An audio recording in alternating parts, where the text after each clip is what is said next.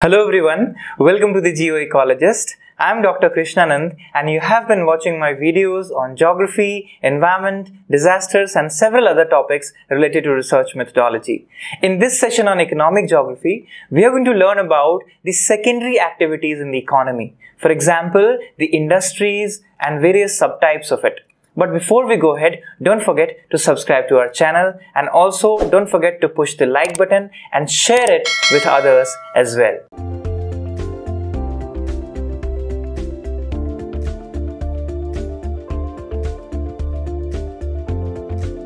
So now let's learn about the secondary activities in the economy. So, if we learn about primary, secondary and tertiary activities in economy, it's basically coming from this theory which is three sector model in economy or economic activities. So, what is this three sector model? It divides the entire economic activity into three parts. That is basically one is extraction of raw materials, which is called primary activity. Second is manufacturing, that is secondary activity, which we are going to learn in details in this video.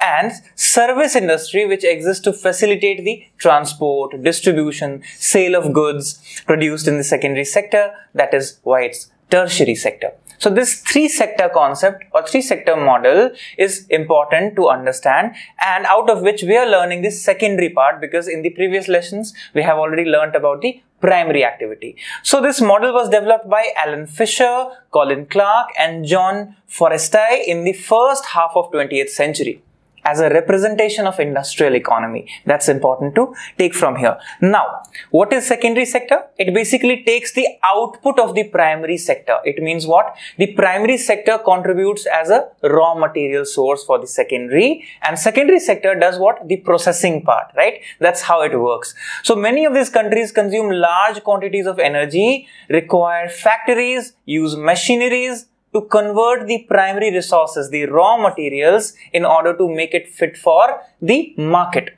right for the processing. So that's important. So the secondary sector what it produces? Waste materials as well. And remember this is one important point here in terms of environment as well that this is the chunk of secondary sector that produces too much of environmental waste and causes environmental problems as well. So the flip side is it gives us resources manufactures resources for us but at the same time there is environmental concern because of this side, right? So this is important. So example, you can see cotton, textile, iron and steel and several other industries, right? So what happens? Secondary sector is dependent completely on the primary sector for its raw material supply, but secondary sector has life of its own because it's manufacturing unit. It has factory setup and also it requires capital.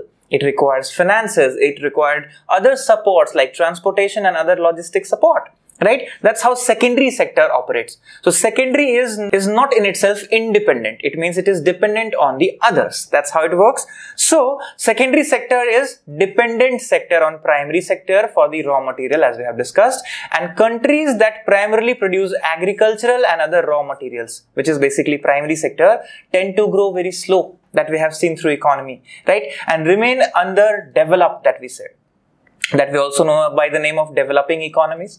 But remember, the countries which produce the goods out of these raw materials, that is dependent upon secondary sector or domination of secondary sector or manufacturing sector, these countries become developed very fast right? So value added through transformation of raw materials into the finished goods which comes to our home.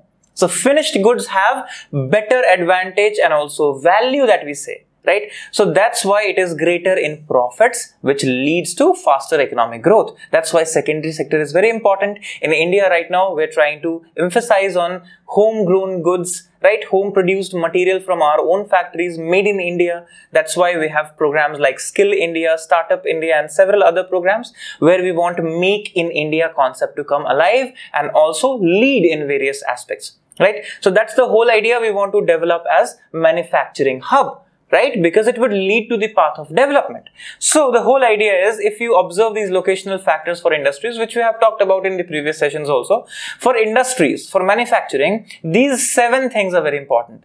Top is the raw material, which is coming from where? From the primary sector of economy. Then you have power, labor, capital, land, market, transport. All these things needs to come together to actually make the secondary sector or the industrial sector work and locate in a particular place, right? So, classification of industries if you see, because we are talking about secondary sector and industries lead in them. So, classification is based on various types. So, one is on raw material, one is on size and one is on ownership. Three things, three words you have to remember, raw material, size and ownership right? So raw material is agro-based industries. For example, it is agricultural produce raw material which is taken for the processing. So we have vegetable oil, cotton textile, dairy product, leather industries, food processing industries which take raw materials and process them into finished goods. Then we have mineral based industries. We take minerals and produce different objects from it. Marine based industries. So marine resources are processed in those industries. Then you have forest based industries right? So these kind of raw material based industries are one type of industry. Then the second type is based on the size, that how big it is, how much area does it require and how much is its output. In output, in productivity, the size also is there, right? So it's kind of a scale concept. So small scale or large scale industry, right? Then comes the ownership, the third one. That is who is owning it. Is it privately owned sector for example, Tisco, Reliance, right, which is in private hands. Then public sector enterprises like HAL, SAIL, right? So these are public sector units. Then you have joint sector units like Maruti Udyog, right where you have combination of public and private and then you have cooperative sector as well. For example remember the anand milk union limited amul that we already know operation flood and also sudha dairy. Now looking into classification of industries through a flow diagram you can make this flow diagram and learn from this as well if you don't want into the text. So it is based on size raw materials output and ownership. There are these four classes here right? So cottage or household, small scale, large scale, artifacts, which is part of the size based classification. Then in input, that is based on raw material, you have agro based, mineral based, chemical based, forest based, animal based. So five types if you see, examples are given here. You can pause the video and you can note it down for yourself. Sugar, edible oil, cotton textile, coffee, tea, rubber is agro right? In mineral, you have metallic or non-metallic minerals. For example, non-metallic is cement and pottery industries. Then in metallic, you have ferrous and non-ferrous. So iron and steel industry, the most famous one. And copper, aluminium, gems and, you know, other jewelries, right? Those are the non-ferrous. Then further, if you see output on the basis of output, how you classify. So basic is iron and steel industry. Then you have consumer goods industries like biscuits, textiles, vehicles, for example, cars, bikes. Then you have ownership based, as we know, this is here. So this one flow diagram can give you an overview as well that you can practice and learn for the classification of these industries. Now comes the major industrial regions in the world.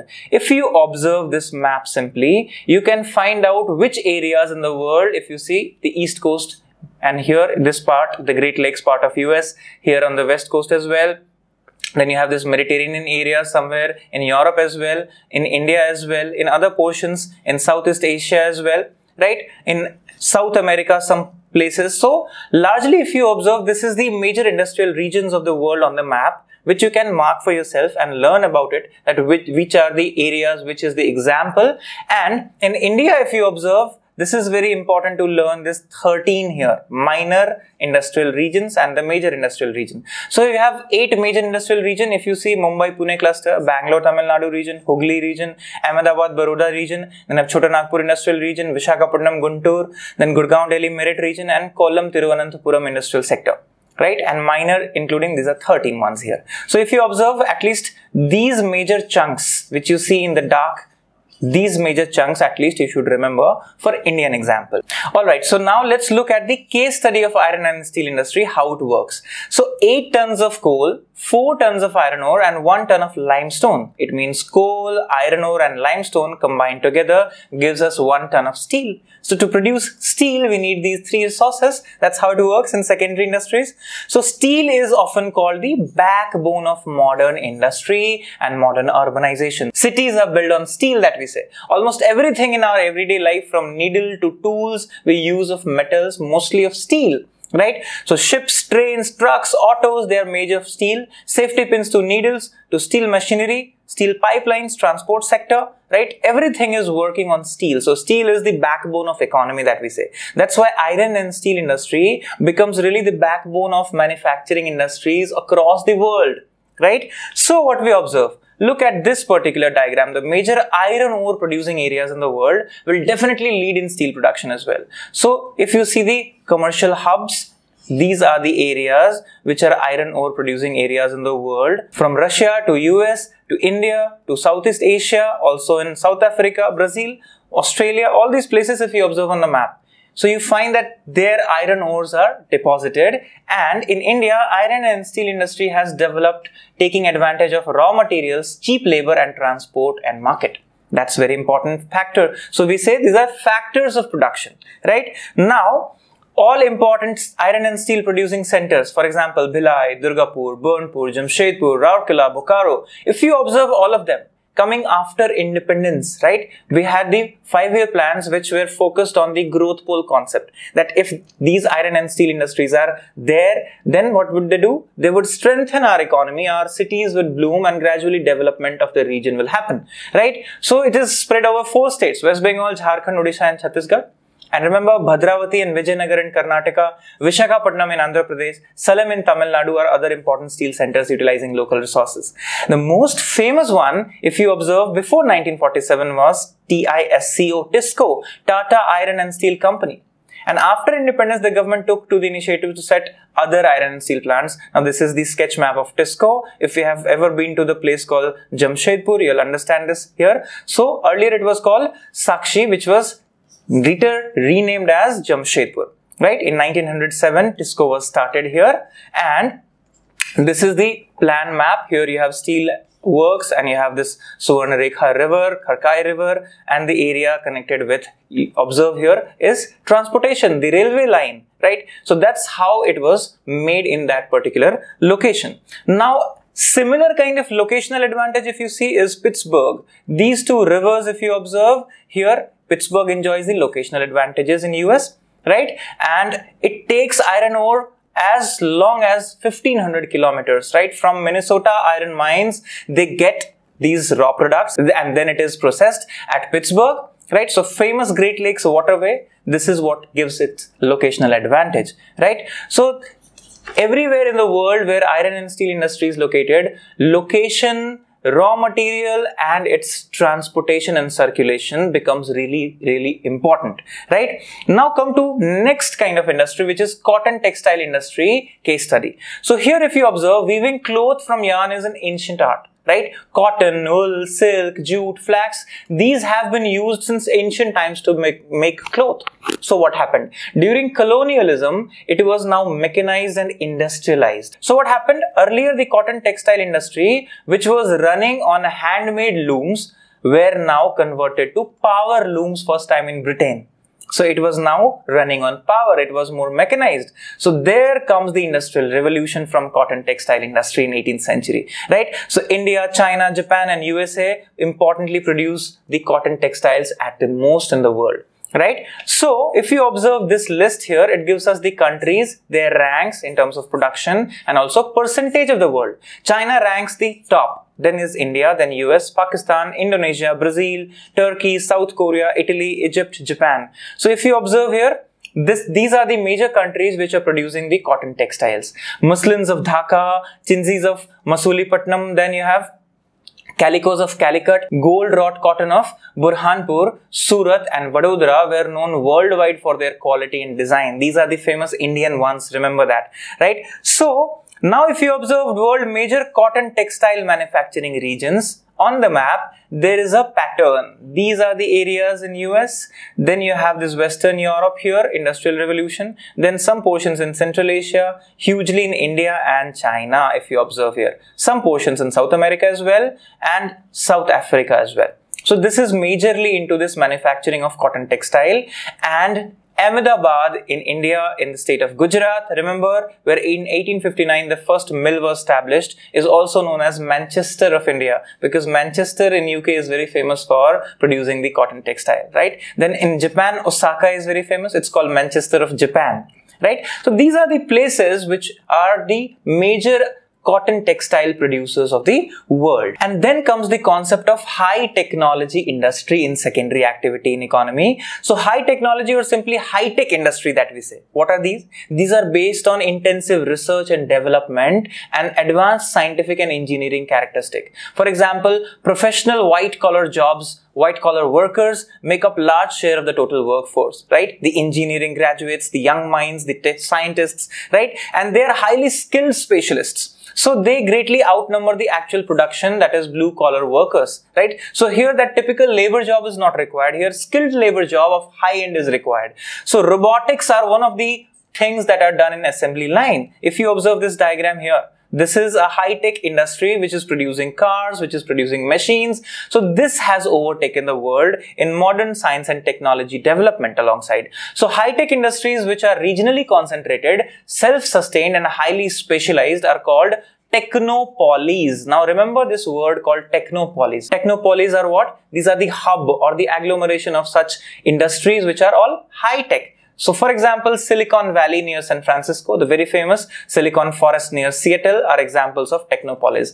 All the high-end technocrats and all the meetings and all the world phenomena is taken over by Silicon Valley, right from the Microsoft to Google to you name it, all the high-tech industries are having their headquarters or are having their offices in Silicon Valley right? So it becomes really important in today's world that high-tech industries are established. If you observe from YouTube itself to others like HP and several Oracle, Yahoo, Facebook, all of them are there in Silicon Valley if you observe, right? So these are what? These are not based on the labor jobs like other industries. These are skilled white collar labor jobs, softwares, technology, robotics, engineering. That's what it is driven through right? So that's what we say is high-tech industry and it also falls under the secondary activities in the economy. So most of these industries are dealing in heavy chemical, metal smelting, textiles, paper pulp, leather tanning and create considerable pollution to the environment as we know. It is talking about the all kinds of secondary activities, not just the high-tech right? So high-tech industries are the least polluting if you observe out of all the secondary activities.